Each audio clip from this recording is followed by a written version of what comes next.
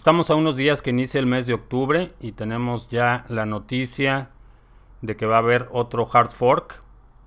Esto significa que hay un grupo de desarrolladores que va a hacer otra copia de la cadena de Bitcoin. Como resultado, una moneda más. Cuando haces una copia, un hard fork de la cadena, estás copiando todo el histórico de Bitcoin y a partir del bloque en el que cambias las reglas del consenso, produces una cadena nueva. Lo que significa es que vas a tener la misma cantidad de monedas en las dos cadenas. Esta nueva cadena se llama Bitcoin GPU o Bitcoin Gold. Hemos visto algunas menciones de este proyecto como Bitcoin Gold.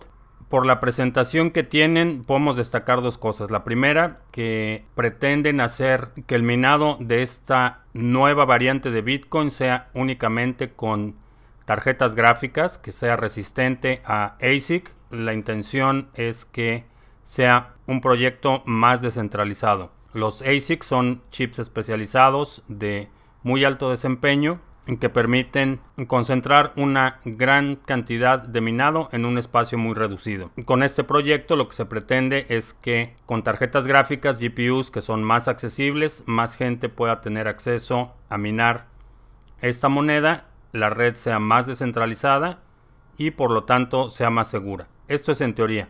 La segunda cosa que podemos destacar es que le surge un corrector de estilo. La verdad es que la presentación deja mucho que desear, tiene errores no solo gramaticales, sino de ortografía.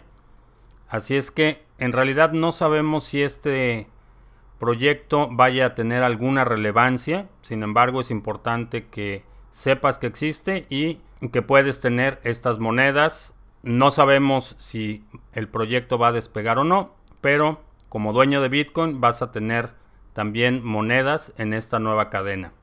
Originalmente se había anunciado que sería el primero de octubre, pero el equipo de desarrolladores anunció hace unas horas a través de su cuenta oficial de Twitter que la nueva fecha será el 25 de octubre. ¿Cómo puedes acceder a esta nueva moneda?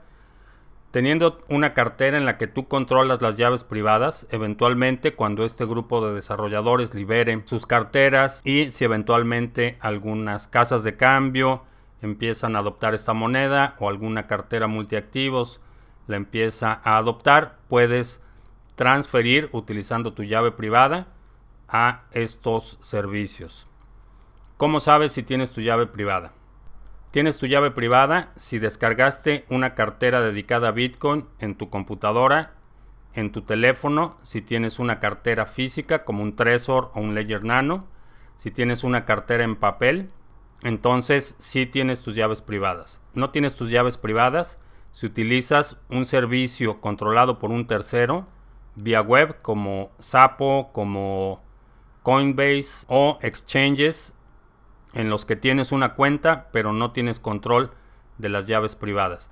Es muy importante tener este control de las llaves privadas porque eso es lo que te permite realmente poseer tus monedas. De otra forma dependes de que la empresa que tiene custodia cumpla con lo que te está ofreciendo. En el mes de octubre va a haber otros eventos importantes y otras oportunidades de generar mayor capital con los bitcoins que ya tienes.